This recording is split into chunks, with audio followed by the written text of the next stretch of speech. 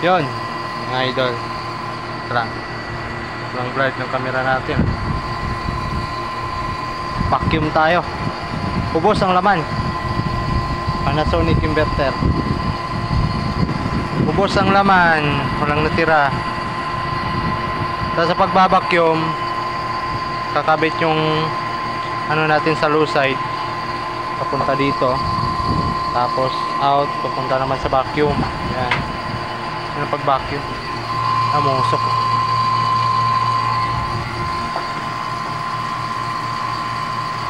Kailangan paratingin natin ng 30 PSI, ay 30 negative pay, negative 30 pala, negative 30. Ba yan?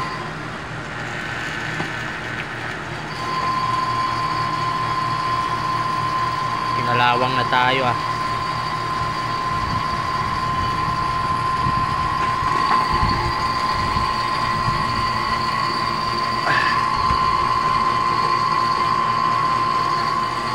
Kailangan natin vacuumin yan kasi nagkaroon siya ng leak.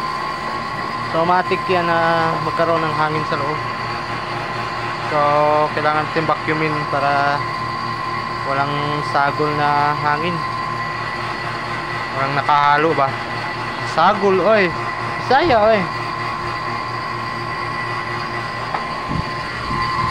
Ay nako talaga. Buhay.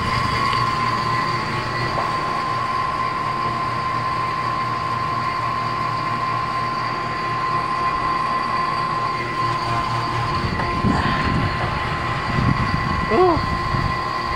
Pagod, init sa taas.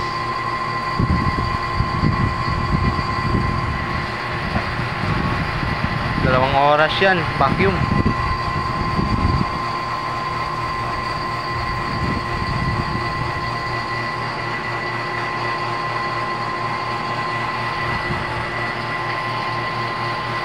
Pag stop natin mamaya, saka tayo pupunta sa bilihan ng refrigerant.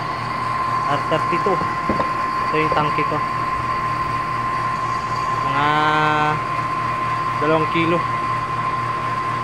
Natin dalawang kilo ba? Refrigerant. Ilan kilo to? 32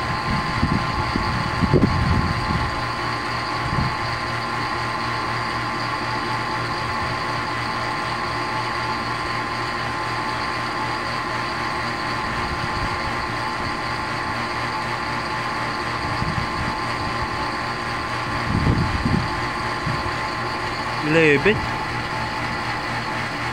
ay weight niya pala yan. Weight niya pala yan. Malalaman niya mamaya. Kabilihan tayo ng 2 kilo. Or isang kilo. Ay hindi. Tatlo na lang for sure